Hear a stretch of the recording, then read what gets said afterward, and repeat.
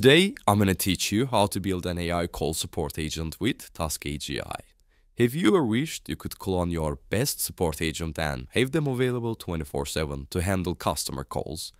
Well, today, I'm excited to show you how you can make this happen with Task AGI.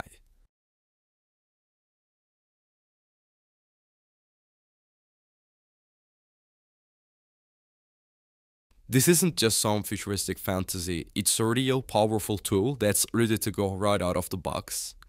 Essentially, um, our AI call support agent is a pre-built workflow that leverages some incredible technology to automatically handle your incoming customer calls. This agent can intelligently answer questions, understand customer needs, provide instant support based on your knowledge base and even know when it's time to hand things over to a human agent, you know, uh, when it faces some more complex issues. So, what does that mean for you? It translates to significantly faster response times for your customers, you know, no more waiting on hold. It also drastically reduces the workload on your support team. Ultimately, it leads to happier customers who feel heard and supported, which is a huge win for every business owner.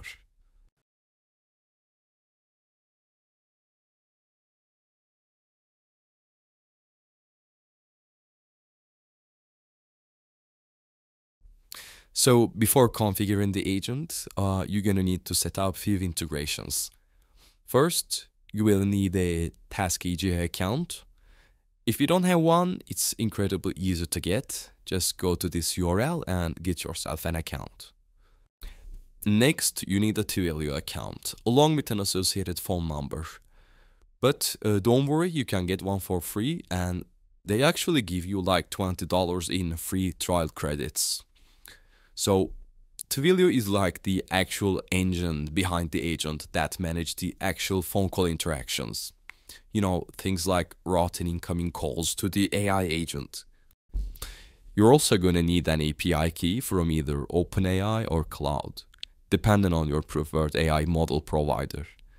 Um, this language model is actually used to communicate between your agent and the person on the phone you know, that's what generates the text response that we're going to convert to text to speech.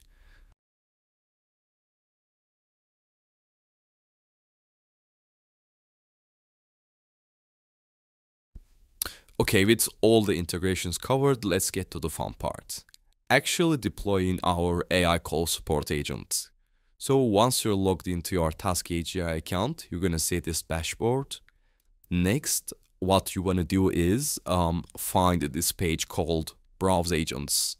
So once you find that section, you should see a library of different agent templates designed for different purposes. Scroll through and you will see this AI call support agent template. Click on that uh, deploy button. This should immediately take you to take you to the agent workflow with all the details configured for you. Take a quick look and familiarize yourself. This is your workflow where all the magic happens. Alright, the template is now deployed in your AI agent workflow. Now, unless you're you're not building your agent from scratch, there's no need to change connections as um as they're already configured for you. But we still have to complete some integrations as you see here. So let's go to the integrations page and we can start with Twilio. Let's just find it in here. Here it is. Click on connect.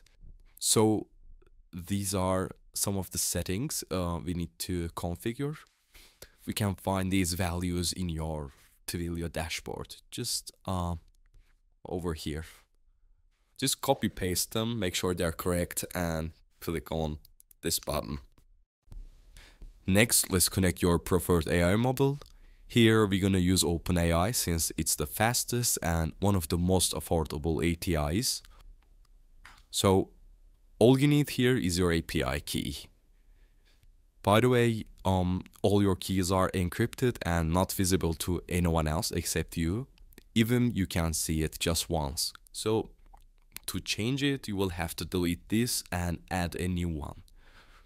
You can find you can find your API key in OpenAI platform it's it's also called playground or something like that. Yeah.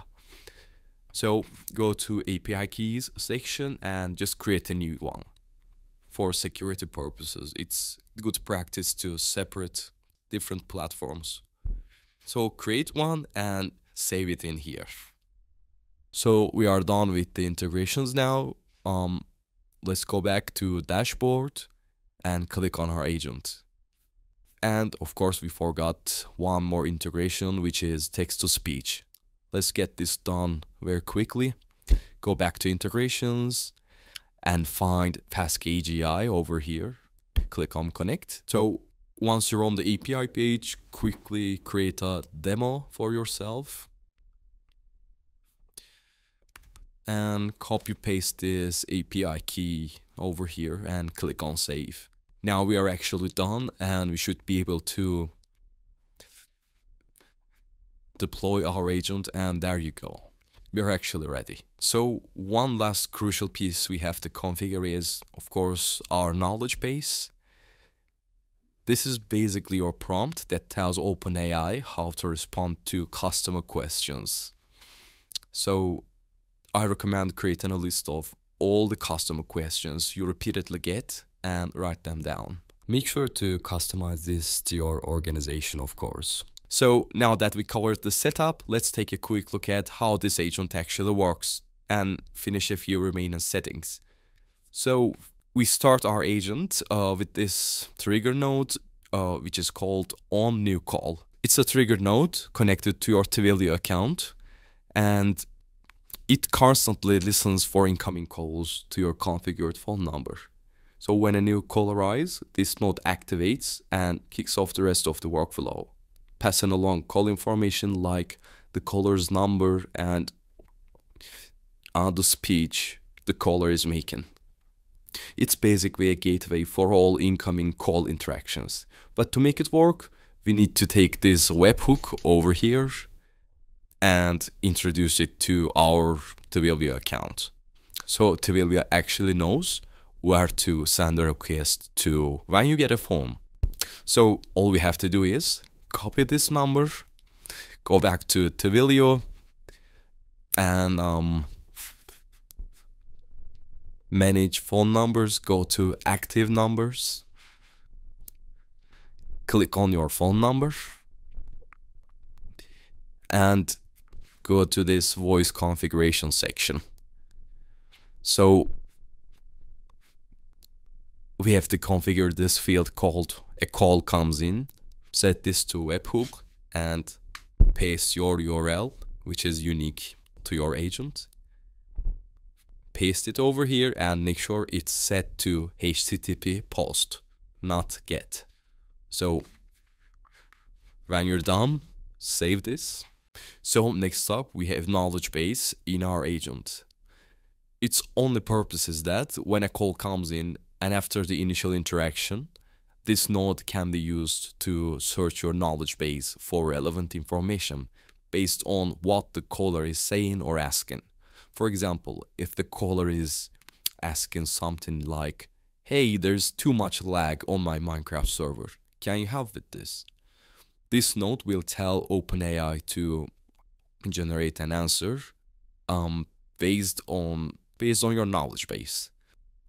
Also, uh, since it's a template, you need to customize this a lot. After creating your knowledge base, make sure you're also passing the right values from the previous node. So you have to delete this tag and add yours over here. That's it. When done, make sure to click apply and save. So by doing this, you are successfully moving the text output of your Twilio call to your knowledge base, which we will use as your prompt in the next step. And next up, we have OpenAI for generating text. So this is where the core AI intelligence is. You know, using a model like GPT 3.5, 4, 4.5. It takes inputs which is a predefined prompt that we configured in our knowledge base earlier. And it tells the AI how to behave and answer questions. It then processes this information and generates a natural language text response. So in short, this node is responsible for understand the caller's intent and formulating an appropriate answer. Just make sure you have um, you have your OpenAI API configured in inside the integrations page. So far, our agent can receive a phone call, look up an answer in your knowledge base, and generate a response. But we actually need to create the audio that will be played back to the caller. That's where HyperVoice comes in. Um, it's a super realistic text to speech model created by Task AGI. And the V3, um, this version is specifically built to be super fast for real-time applications such as this AI agent. So it takes this text response uh, generated by OpenAI and converts it into natural sounding speech. So as I said, it's optimized to be incredibly quick, which is super crucial for call centers. You might be able to select different voices and set different speeds, as well as like even uh, use different voice models if you prefer, but they all come at an extra cost, so I wouldn't recommend that. Just try it yourself um, you will find V3 to be super realistic. Next up, we have another crucial core utility called function. So, um, this node is responsible for executing this custom JavaScript code.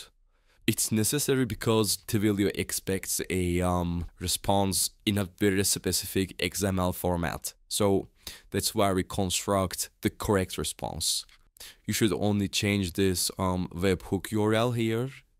Just um, go back to your trigger node, copy this webhook URL, go back to your function and paste it in here. That's it. Apply and save. And our final step is respond to webhook. So this node is responsible for sending a response back to the service that triggered the workflow, which in this case is Twilio, of course. So what it does is, um, it takes your text-to-speech from the HyperVoice node, which is processed by the function node, and sends it back to Twilio, which then the audio is played back to the caller. All you have to do here is take this um, node result drag and drop it in here, apply and save. Remember, this AI call support agent template is a fantastic foundation, but it's also highly customizable within Task AGI. For example, you can include other tools within the agent, such as Google Drive to save customer information or even take reservations if that's what your business needs. Anyway, uh, that's it for today's video. I hope you're as excited as I am about the possibilities of these AI agents. Um, if you want to watch more videos like this, make sure to subscribe.